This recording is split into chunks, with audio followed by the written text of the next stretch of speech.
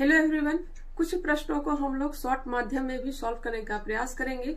आज का प्रश्न है, एफ्ला विष का उत्पादन होता है। ऑप्शन दिया गया है, शैवाल, जीवाणु, कवक या फिर विषाणु। एफ्ला विष का जो उत्पादन होता है, यह होता है कवक से। कौन से कवक से? तो एस्परजिलस फ्लेवस नामक कवक से एफ्लाविस का उत्पादन होता है। इसके साथ ही साथ कुछ क्वेश्चन को याद रखिएगा, जैसे कि कवक का अध्ययन क्या कहलाता है? तो कवक का अध्ययन कहलाता है माइकोलॉजी माइकोलॉजी कहलाता है। नेक्स्ट क्वेश्चन है, इसकी कोशिका भित्ति किसकी बनी होती है? तो कोशिका भित्ति बनी होती है काइटीन की। भोजन का संचयन किस माध्यम में होता है? तो ये होता है ग्लाइकोजन के रूप में, ग्लाइकोजन के रूप में।